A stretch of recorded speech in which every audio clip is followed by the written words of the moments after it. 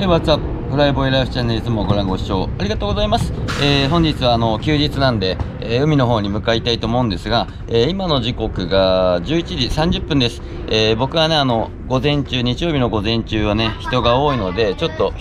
その時間帯は避けてね、いつも午後1か、え昼過ぎぐらいにね、海に行くようにしてます。え波の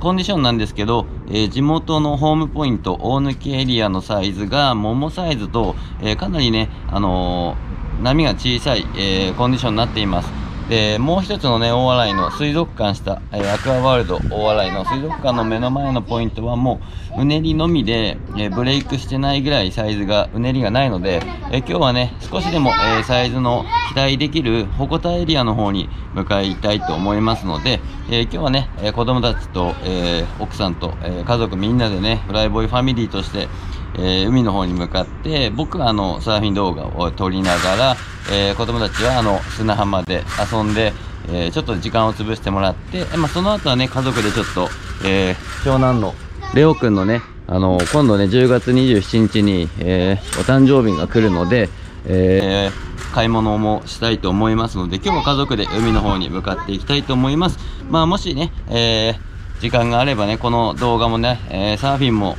え最後の方最後までね見ていただけるとありがたいです。えー、もし少しでも面白いと思ったらチャンネル登録、えー、高評価よろしくお願いします。さあ、それでは海に向かって、レッツゴー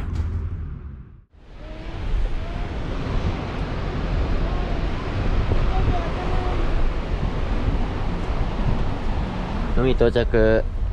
海到着。海到着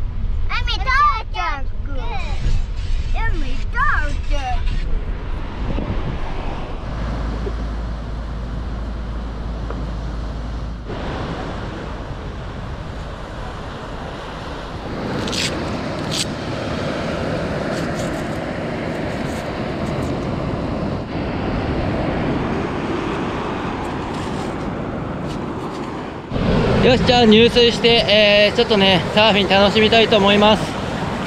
まあ水はね茨城県、えー、ちょっとね水温下がってます、えー、サンフルがベストだと思います。うわっ！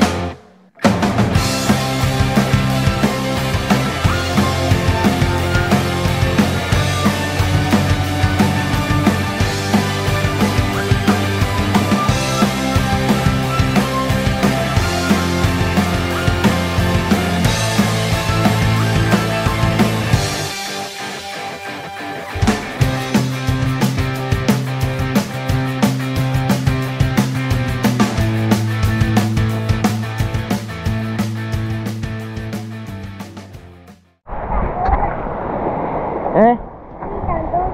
はい、こっち寒いよ。乗れた。乗れたよ。寒かったうん、うんウエット、ダディはウエットぴったりだから。このビューのウエット最高だから寒くないよ。